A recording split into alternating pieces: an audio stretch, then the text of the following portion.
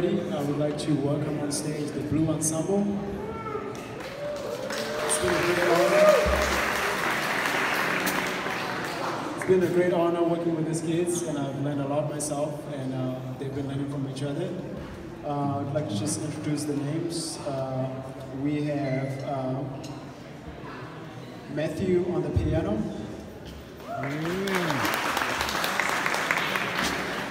Anthony on the bass.